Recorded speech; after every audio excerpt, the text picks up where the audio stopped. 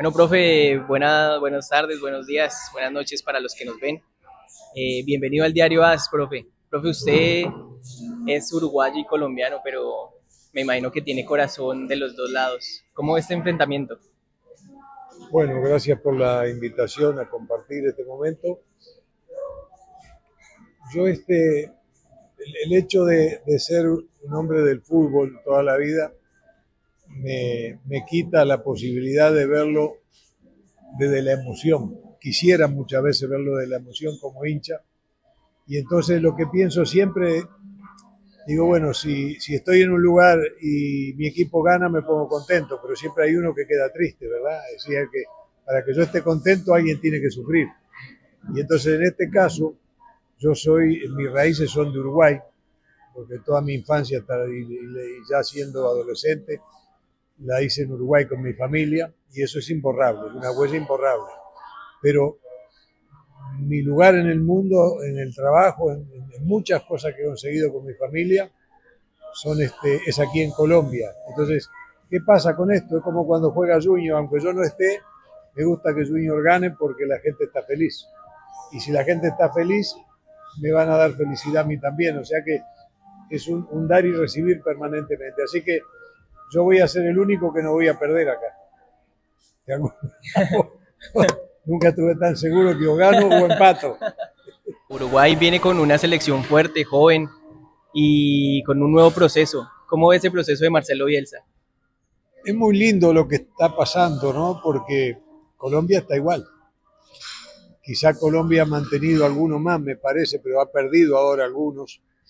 Este, pero son equipos de nueva generación eh, uno con un entrenador menor, como Lorenzo de en edad, pero con mucho recorrido, con experiencia en eliminatorias también junto a Peckerman, un, fue un jugador internacional, y el otro Marcelo Bielsa, ¿qué podemos decir? Un hombre muy importante en el fútbol y con una trayectoria también que lo avala, de muchas experiencias y, la característica de los equipos son bastante similares, salvo las diferencias que puede haber en el aspecto individual, a favor de uno, a favor de otro en algunas líneas, en algunas zonas.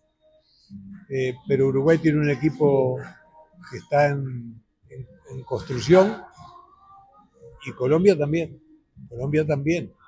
Tiene gente nueva que está asomando y que y que dentro de lo que se habla del fútbol actual, del fútbol que dicen moderno, palabra que no me, no me cuadra mucho, pero tampoco puedo estar ajeno a eso, eh, hay cosas que para nosotros, los que estamos en el fútbol siempre, no son nuevas, son de, de toda la vida y que nunca se acabarán en el fútbol. Pero sí el entrenamiento del fútbol ha cambiado mucho. Los métodos de entrenamiento han cambiado mucho por eso este, lo que se hace hoy en los lugares que hay muchos adelantos, que hay grandes organizaciones, que la ciencia, principalmente la ciencia médica y todo, han aportado al fútbol cosas bien importantes, vemos ese ritmo de juego, esa intensidad. Entonces, si uno quiere jugar a esa intensidad, no puede entrenar como entrenábamos antes. Eso está claro. Pero también hay que tener cuidado qué jugadores recibimos desde las divisiones menores en el fútbol profesional. ¿A quién vamos a entrenar este, de la manera que hoy se entrena para jugar con esa intensidad? ¿Qué recibimos? Entonces, cada día es más importante el tema de las divisiones menores, el tema de la formación. Y formación no es solamente entrenar a un niño, sino que es respetar su desarrollo madurativo y educarlo educarlo. Siempre le, hemos mirado los pies a los futbolistas. Tenemos que mirarle la mente, cómo piensa, cómo vive, qué es lo que siente, para qué está en el fútbol, por qué está en el fútbol, qué espera del fútbol, qué, cómo quiere contribuir al equipo de fútbol, cómo va a contribuir él mismo en su carrera. Entonces todas esas cosas las obviamos y vivimos del resultado y de que cómo, la, cómo gambetea, el gol que hizo. Sí, pero ¿y la cabecita cómo anda? Entonces yo creo que es una etapa del mundo muy importante, con una juventud que no es como nosotros, que nos criamos obedeciendo órdenes, eran esas épocas. Ahora no, ahora los niños no es que respetan, quieren, uno les da una orden y ellos, ellos preguntan por qué. Y quieren ver otras opciones. Y quieren saber por qué. Entonces es una grandísima oportunidad para que los mayores, cuando ellos preguntan por qué, les podamos explicar el por qué, para que ellos vayan aprendiendo y entiendan de qué se trata. Profe, usted estuvo un tiempo en la selección Colombia como asistente técnico y quizás vio esos primeros, esos primeros meses, primeros días de explosión de James en la selección Colombia. ¿Usted, ¿Usted qué le dice esas críticas que a veces se le da al jugador? Todos los compañeros, entrenadores incluso hablan muy bien de James. Pero ¿Usted qué opina de las críticas que se le hacen a él? Yo pienso que es normal y la gente, el hincha, no lo hace por un tema emocional. Lo hace porque le da rabia, le, le, molesta, se siente mal la gente, porque la gente quisiera ver cómo hace para que James vuelva a ser el James de Banfield. Imposible. Porque James sigue con sus condiciones. Lo que pasa es que su vida es la que ha cambiado. Yo no digo ni que para bien ni para mal, porque desconozco la vida digamos, este, personal de James Rodríguez, pero es indudable que algo ha pasado en su vida. No sé, él sabrá lo que y cómo, porque no es aquel que nosotros vimos, que yo vi en La Paz ese día, no me olvidaré nunca, el James de Banfield jugando como extremo izquierdo, haciendo cuarto volante por izquierda y saliendo al ataque por fuera en los desbordes o en diagonal para rematar al arco, con el dribbling, lo recuerdo de la carita blanca y los cachetes colorados, un jovencito, y jugando con una personalidad y con un desparpajo tremendo. Y hoy lo vemos jugar y vemos unas pinceladas de lo que él tiene, ¿no? Pero pareciera como que, que interiormente esa pasión por el juego ese, por disfrutar eso, ha desaparecido. Parece, ¿no? Ojalá que yo me equivoque. Otro, crack que usted tuvo fue Luis Díaz en el Junior cómo, cómo ve esa evolución en el Liverpool, ¿no? Que ahora, ahora también llega de nueve, también, bueno, siempre lo ha hecho de extremo, pero eso, esa nueva versión de, de, de ese nueve falso que llaman ahora. Lucho está vivo. Lucho sí está. Uno lo ve a Lucho y ve que tiene el fuego de, de cuando se fue de aquí, cuando estaba en Junior. Yo lo único que, que no es que discrepe, pero tengo una diferencia el tema de la, de la movilidad, de la demarcación, del equipo, sí, todo bien.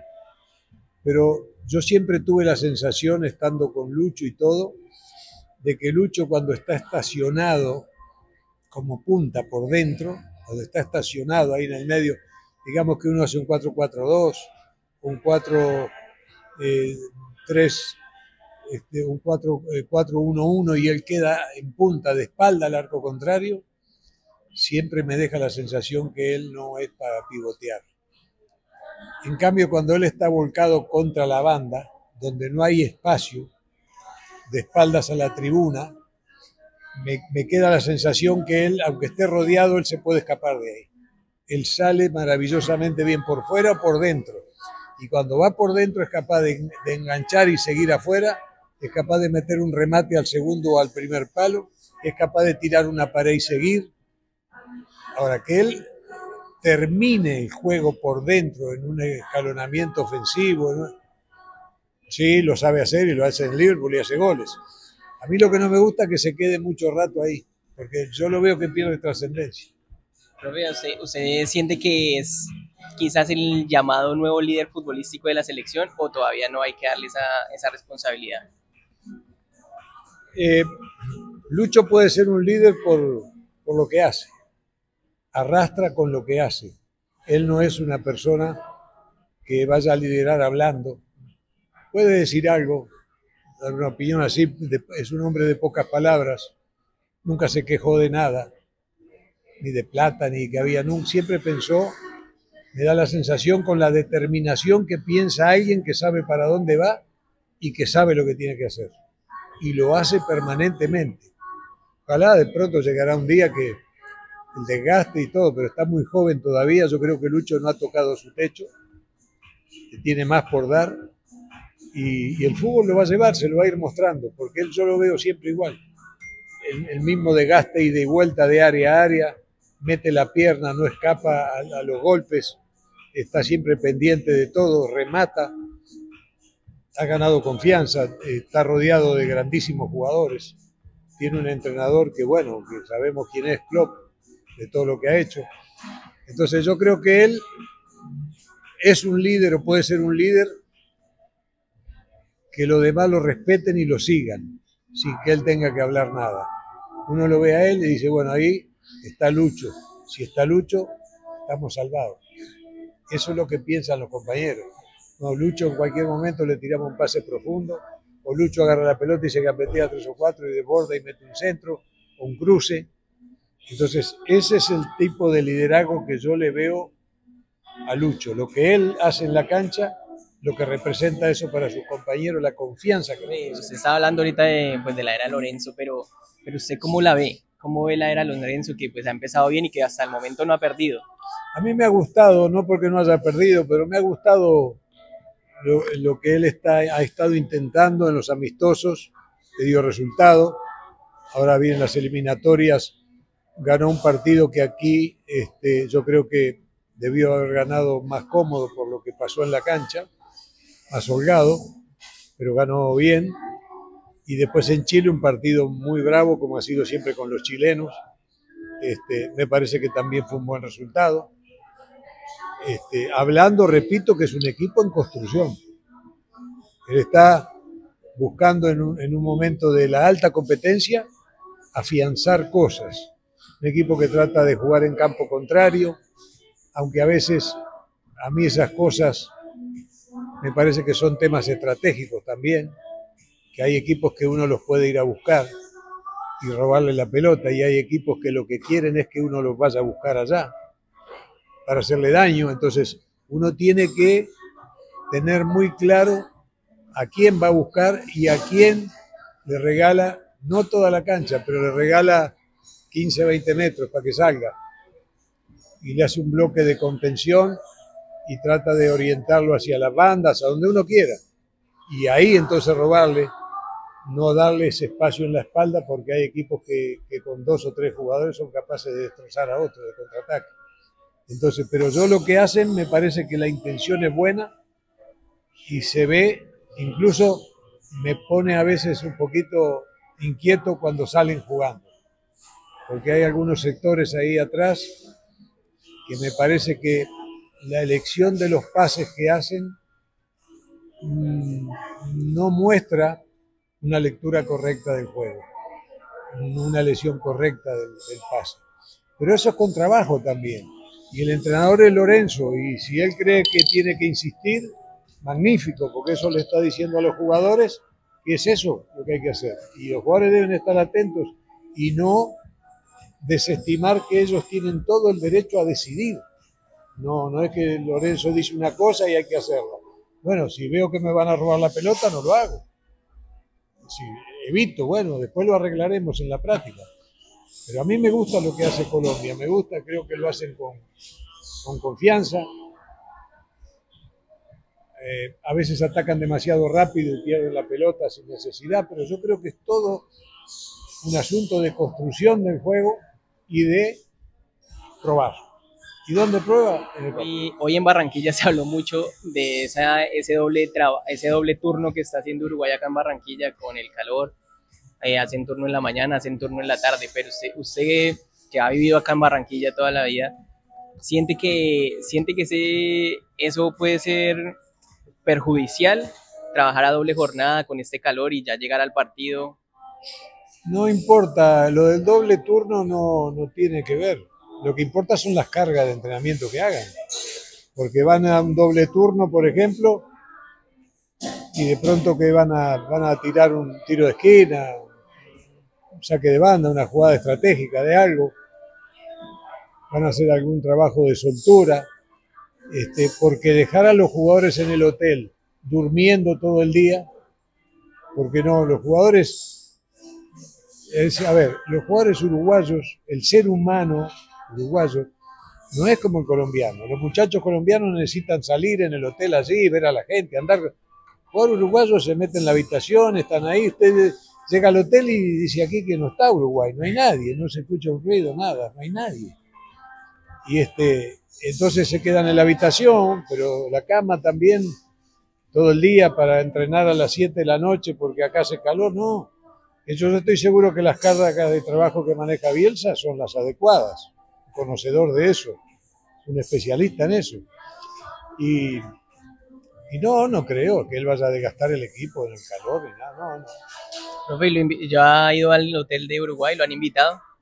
Yo tenía hoy una, una reunión con dirigente, un alto dirigente allí, el señor Eduardo Mosegui, y fui al hotel y él estaba ocupado en algo, no me pudo contestar el teléfono y yo me fui porque no me gusta. A mí yo cuando estoy en la concentración para los partidos, llegan amigos y todo y me sacan de lo que yo estoy, no me gusta. Y entonces opté por, vi anoche, anoche fui a comer algo con el profesor Esteban Gesto, pero no en el hotel. No me gusta porque no, para, para los jugadores, para su entrenador, para la gente de la selección. Acá, por ejemplo, yo he ido a reunirme con Ramón Resuruna la, concentración pasada, pero también están en otras cosas, están... No me gusta, no me gusta. ¿Cómo debe asumir Colombia este partido a las 3 y 30 de la tarde? Y yo creo que... Yo no creo que, que la diferencia hoy en el partido vaya a ser la del desgaste de, de un equipo por encima del otro. Yo creo que va a seguir siendo muy importante acá en Barranquilla la pelota. La pelota no se puede perder enseguida. Si no hay seguridad para el contraataque de, una salida limpia, no se puede regalar la pelota ahí para que el rival que presiona de inmediato se la robe. Me parece que eso sería fatal, porque los dos equipos atacan rápido. Y entonces, este, si, si uno de los equipos, me acuerdo aquella Colombia de otras épocas, que agarraba la pelota y no se la dejaba tocar a los contrarios, entonces lo desgastaba. Esta Colombia no hace eso, hace los pases necesarios porque, le apunta al arco, apunta al ataque, no se entretiene, inicia desde atrás, elabora el juego, pero está buscando siempre penetrar. Y cuando uno busca penetrar, hay riesgo en perder la pelota. Y si uno pierde la pelota y está en campo adversario, hay que tener cuidado si el otro equipo tiene esas balas que tienen arriba. Entonces yo creo que todo es un tema estratégico y de confianza en lo que van a hacer. Yo no tengo duda que Colombia va a jugar con la confianza que debe jugar en lo que hace. Profe, Uruguay tiene grandes jugadores, pero quizás el símbolo, el capitán, ¿no? Incluso es el capitán porque Bielsa lo dijo. ¿Qué opina de Federico Valverde, que es quizás una de las grandes figuras y que en el Real Madrid pues es una bala, como como se dice? Es un gran jugador, eh, no hay que olvidarse que está en un equipo donde lleva mucho tiempo, conoce a todos, lo conocen a él, tiene grandes partidos de la Champions, competencia de la élite del fútbol, y él cuando viene a Uruguay se encuentra con otros que están allá y encuentra con otros que están por ahí, algunos en Uruguay, y entonces eh, yo lo veo siempre jugando bien. No es un jugador a veces descollante, pero si uno lo mira, es raro que Valverde cometa errores esos infantiles, uno es un jugador, tiene buena media distancia, tiene buen pase corto y largo y medio, es un jugador inteligente, tiene esa zancada larga que lo, ayuda a ir y venir en la cancha. Es un jugador de gran nivel. ¿Qué, ¿Qué, opina de esa decisión? Pues yo sé que usted es muy respetuoso, ¿no? Y siempre se debe ser respetuoso con las decisiones de los entrenadores, pero, pero ¿qué opina de eso de dejar a los quizás referentes, ídolos de Uruguay como Suárez y Cavani fuera? Yo pienso que todo en la vida tiene sus momentos y sus tiempos y todo se acaba. No quiero decir que lo de Suárez y lo de Cavani se acaba, porque Cavani lo acabamos de ver ahora con Boca. No ha estado fino para el gol, pero es una, lucha, es un león, una lucha permanente. Y yo estoy seguro que Bielsa, en este momento, entiende que para lo que él quiere, Suárez y Cavani no están hoy pero tampoco tengo dudas que si en algún momento lo ve en un gran nivel y que él crea que le pueden ayudar a la selección, tampoco tengo duda que lo llame. Ninguna duda tengo. Bielsa ya lo dijo, yo no tengo que darle explicaciones a nadie. Los hombres del fútbol entendemos que si no lo llevan es porque no lo necesitan hoy. Lo que no quiere decir que mañana no lo vaya a utilizar. Parece que es normal. Aquí ha pasado con jugadores también. Bueno, James no venía, el otro Quintero, pero bueno, ahí está James. Pero aquí se critica a Néstor por convocar a James. Bueno, pero bueno, pero yo no creo que tampoco Lorenzo traiga a James porque es amigo de él o porque quiera ayudar a que lo vendan a James. A James ya lo han vendido mil veces. O sea que yo no creo que lo esté ayudando para algo a James. Yo creo que él espera que James en algún momento de los partidos, cuando el trámite de juego allá haya hecho un desgaste en el adversario o algo, o Colombia no encuentre la claridad como el otro día con Venezuela, que no encontraba para resolver el partido, y entró James y de alguna manera nos dio una sensación de que algo podía pasar, ¿verdad? Algo diferente. Entonces, yo creo que va a ser así. Y el día que James saque a Colombia del apuro, entonces vendrán los aplausos. Pero James tiene que entender también, yo creo que lo debe entender, que bueno, que sus mejores tiempos pasaron y que este es el momento que tiene que estar él al servicio de la selección y no la selección al servicio de él.